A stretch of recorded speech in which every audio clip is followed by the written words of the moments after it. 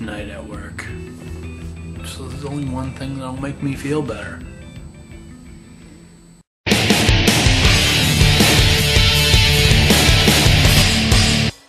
Okay. Yeah, last night, rough, rough fucking night. I have a pager on at work. Every time I get paged, you know, gotta go to a different floor. We there's four floors generally that I work on. Two, four, two, three, four, five. This morning I look at the pager because you know we're supposed to clear out all the pages after we're done at night. So I'm looking, and there must have been about 50 pages. Yeah, it was rough. So to make myself feel better, yeah, I need to have a shot.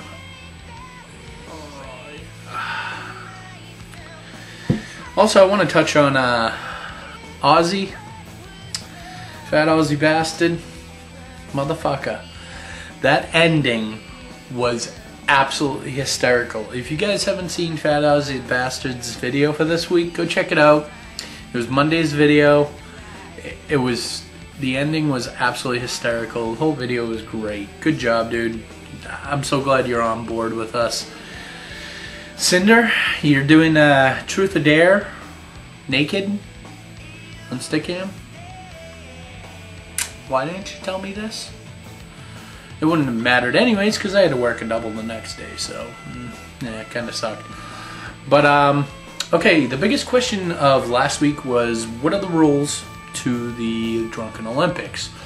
So I'm going to give them to you now because the Drunken Olympics aren't going to be starting until April 8th I believe I said yes. April 8th. Okay.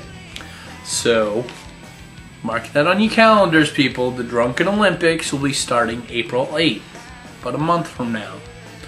The rules are pretty simple. There's not too much you're going to need. You're going to need a shot glass, some of your favorite alcohol, and that's it. Every week, there'll be a challenge or a Drunken Olympic contest. Um, slowly but surely, we'll raise the stakes every week, you know. Um, the first week will basically be, you know, do one shot before, do the challenge. If you fuck up or whatever in a certain amount of time, the little one minute counter, remember that? Then you have to take another shot, keep on going. So every time that you fuck up, you have to do a shot. Pretty simple. And uh, like I said, every week we're just gonna boost it up and boost it up and boost it up. And um, the final challenge, you guys are just gonna have to fucking stick it out and wait to see it. Now,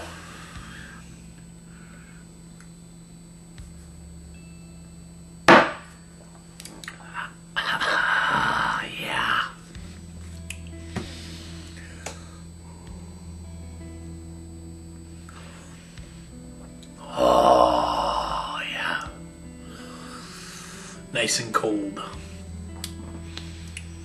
So, that's pretty much all I really wanted to talk about. Um, there was something else, but I'll be right back. I need a beer.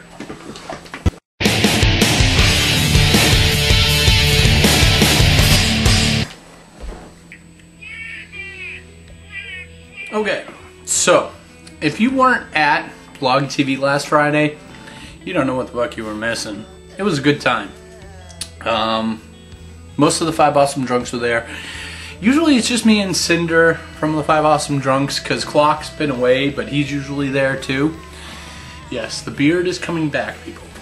Um, Matrix stops in every once in a while. He usually works Friday, so you know he hops on when he can. And the Fat Aussie Bastard, dude, what's going on? You gotta come to my blog TV show. We need to have you up on co-host. We need to get you up there. We need to have you up there. We need some Australian love, people. And my, uh, my English friends out there, what's going on? Seriously, we need some English love up in here, people. Um, I was in my friend Dom's room, and I was telling some of the people from England, you know, if you guys want to be on the Five Awesome Drunks, all you got to do is make a video, send it to us. We'll post it for you every Saturday. Every Saturday is guest host time. If you want to make a name for yourself, you just want to get your name out there. You want to be part of the Five Awesome Drunks if a spot opens up. Make a video, people.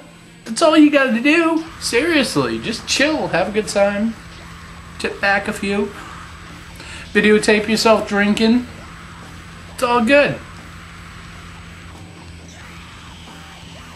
Tell us what your favorite beer is. Tell us what your favorite alcohol is. Tell us what you like, what you don't like.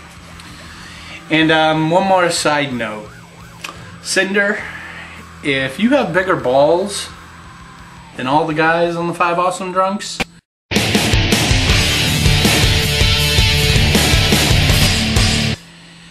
yeah, we're not going to be sleeping together.